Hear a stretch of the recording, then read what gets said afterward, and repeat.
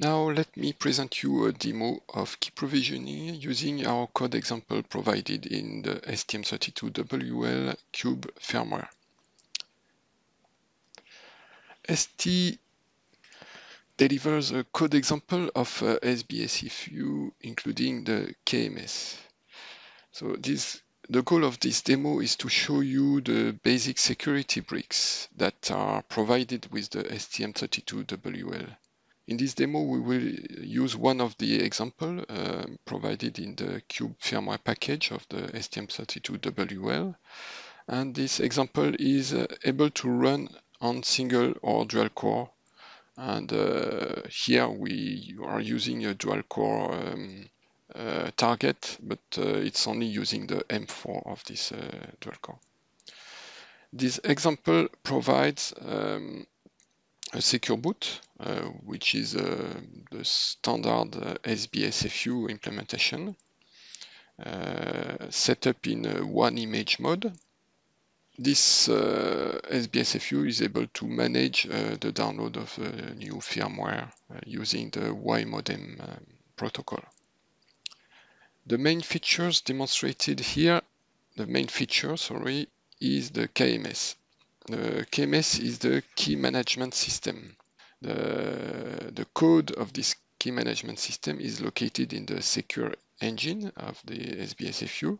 It is managing uh, two uh, different kinds of uh, keys uh, in this demo. Uh, the embedded keys, which uh, are located inside the secure engine, and the static keys that are dynamically provisioned. They are, they are located in a reserved area in the flash called KMS data storage. Uh, to be able to manage uh, key provisioning, a small memory slot reserved uh, for this purpose uh, is uh, in the flash. A blob is a set of uh, data containing the, the keys to be imported. the data is encrypted and signed the same way it is done for a firmware update file. So the new keys are important, uh, also the, the, same mechanism as it is used for uh, firmware update. In this demo, we will uh, use different uh, embedded keys. Uh, first, the, the, keys used to uh, decrypt and authenticate the firmware. the keys used to authenticate and decrypt the blob, which are different and also two keys used for uh, testing purpose. And then uh, we will have uh, two static keys that will be provisioned and one is a RSA key and the other is an AES key. Now just before going to the demo, let me show you uh, the flash mapping of uh, this demo. Um, the, the low address of the flash are on the top of the figure, so we can see the secure engine containing the embedded keys and the KMS code, uh, and then the secure firmware, secure uh, boot secure firmware update uh, that contain that is able to uh, download the new firmware. And then the KMS data storage uh, used to store the static keys that will be provisioned and the download blob area that uh, will receive the, the blob before the installation.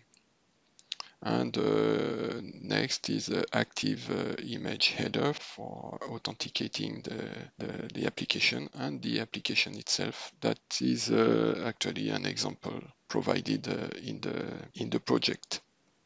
The two main protections used in this setup are the RDP, uh, readout protection, that ensures the unique boot entry for the secure boot and the inability to access to the flash using the debugger. And the uh, second protection is the write protection, WRP, that ensures the immutability of the secure boot and the embedded keys. Let's now switch to the demo itself. So our demo is based on the Cube firmware uh, for WL v.1.0.0, where you have the standard uh, uh, directory tree. So let's go to the example in a Nucleo, Project Nucleo applications, and the, the demo will use this BFU one image. We have four projects in this uh, application, uh, the Secure Engine core bin and the BFU that is a SBSFU. So this has standard uh, SBSFU uh, projects and the user application. And on top of that, we have this KMS blob that is used to generate a blob.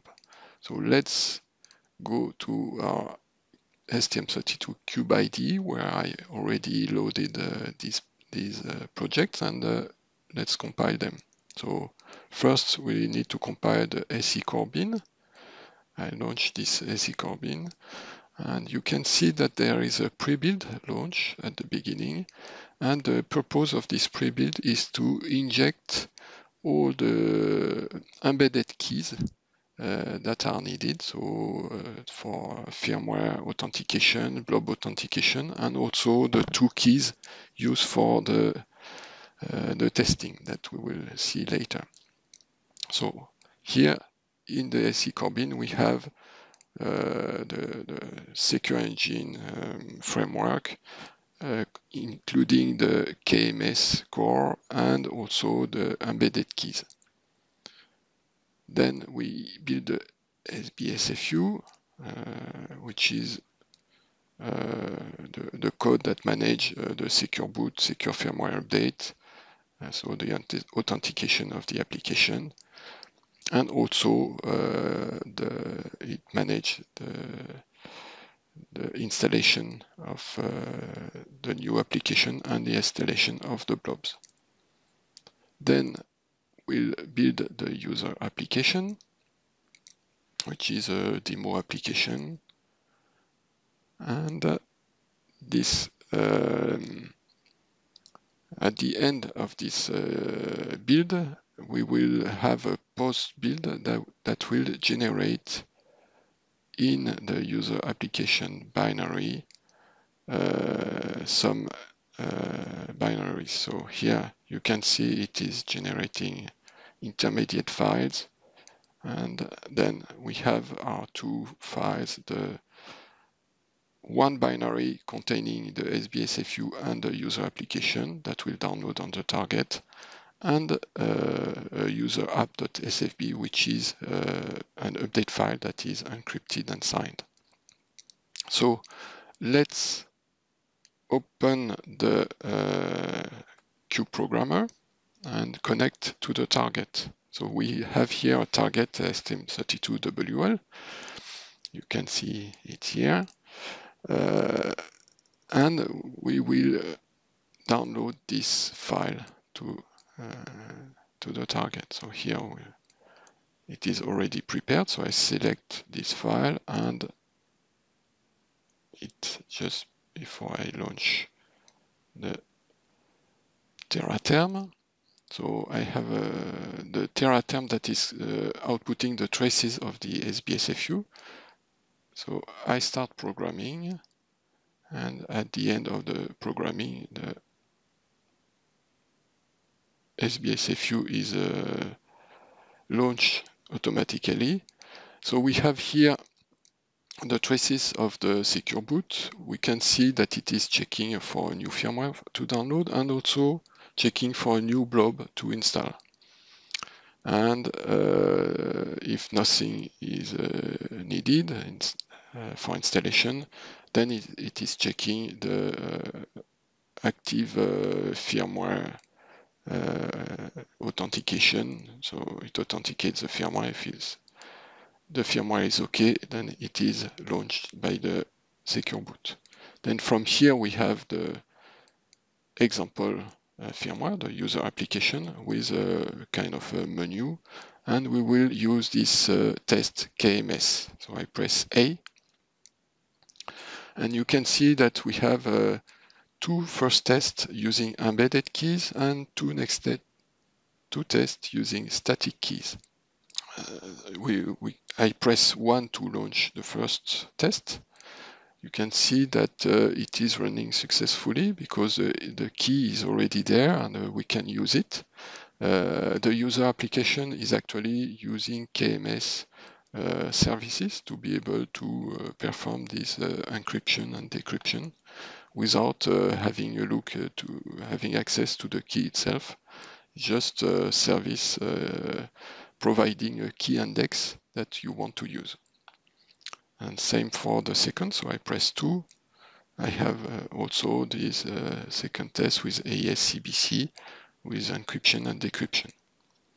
Next, if I want to launch the test number 4 using, uh, so I, I press 4, you can see that the test is failing. And the reason is that the key is not imported uh, yet, so the key is not available on the target. So the, here we need to import uh, dynamically uh, using this import blob the keys necessary to the two last tests. So to achieve this, let's go back to the, our project and select the KMS blob. This KMS blob is a project containing uh, only one C file, and this C file is uh, uh, containing a blob structure with all the keys that you want to import.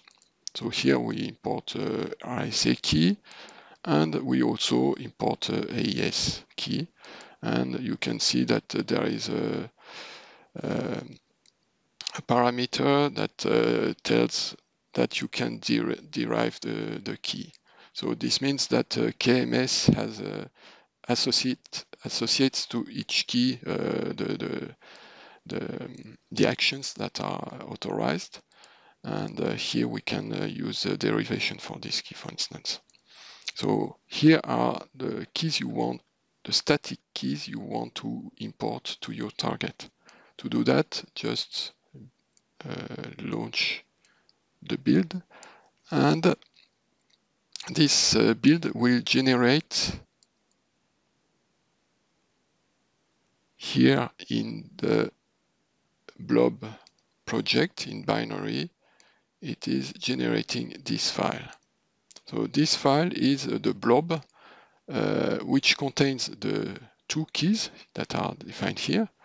Uh, the two keys are encrypted using this uh, CBC key, and they are signed using this ECC key. Then on the target, we, we have already embedded the, public, the associated public key of this uh, ECC key and also this uh, symmetric key so that the SBSFU will be able to decrypt and authenticate the content of the blob. So let's see how we can do that. Uh, we go back to our uh, Tera term and import the blob. I press 3. And here we have the Y-modem interface to import the blob.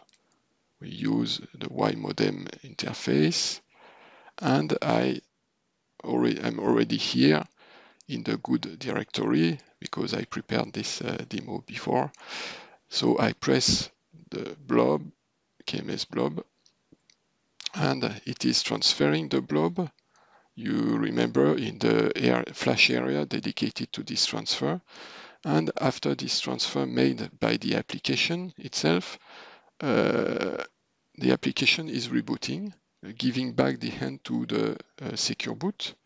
And secure boot, uh, one of the steps is the checking if there is a blob to install. And here it has detected this uh, blob that is uh, still encrypted. So it is uh, decrypting it and uh, checking the authentication.